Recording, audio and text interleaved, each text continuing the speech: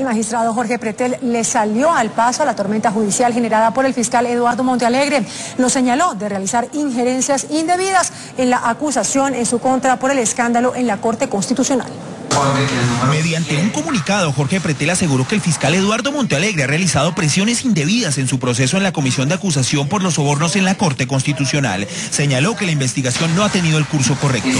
Lo que evidencia la improvisación que desde el principio se ha implementado o con la que se ha implementado esta investigación, pero quiero dejar constancia, es una decisión política, no jurídica, porque no consulta la realidad procesal y la realidad probatoria. El abogado anunció acciones legales con el representante investigador. Vamos a denunciar tanto al señor Bedoya, que es el ponente del proceso en la comisión de acusaciones, como al secretario de la comisión, que es el señor Juan Pablo Duque. Este proyecto de acusación presentado por Julián Bedoya tendrá que ser debatido al interior de la comisión para ser aprobado.